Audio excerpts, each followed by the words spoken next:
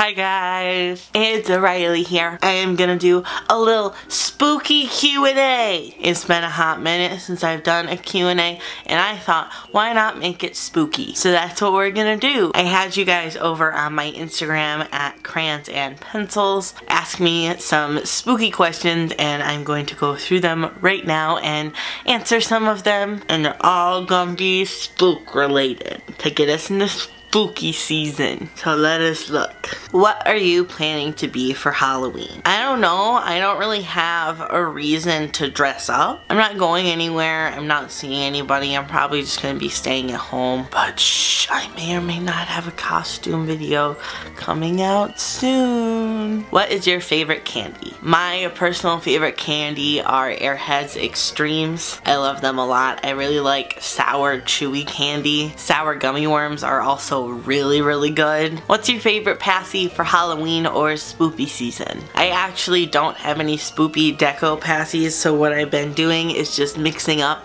my black and orange passies, and this combo, the orange with the black candle, is my current favorite. Is that a jinx? Jinx! See him back there? He's silly. He's a silly willy little boy. Hi Jinx, say hi to the people.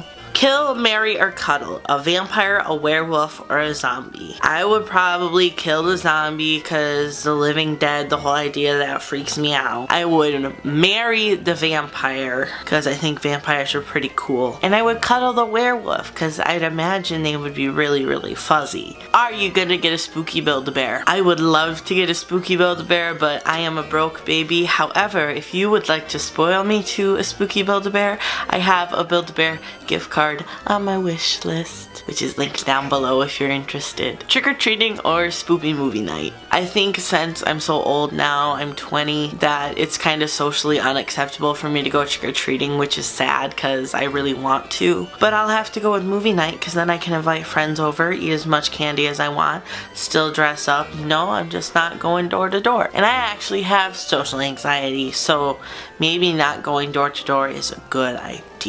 Do you like horror movies when you're little? I wouldn't say horror movies, but I like spooky movies. Like I love the Tim Burton movies, Nightmare Before Christmas, Corpse Bride, but the horror stuff, like the really gory horror fix, I stick for when I'm grown up. Opinion on goth slash punk regressors. I think they are wonderful and 100% valid. What activities can a baby do to feel Halloweeny? I have a few, I'll give you a few ideas, but there will be more ideas coming out in the videos coming out after this before the spooky season ends. One of them is you could read some tarot cards or get a tarot reading. That is always like super mystical. I love that. You could watch spoopy movies. You could dress up in spoopy colors like purple, orange, and black. You could doodle Halloweeny thingies. You could do a Halloween entry in your age regression journal. Watch Halloween specials of your favorite kids TV shows. There's lots of ideas. Do you like pumpkin pie? I do like pumpkin pie, but it is the best when you have it with fresh whipped cream. Do you like scary stories? I do. I love scary stories.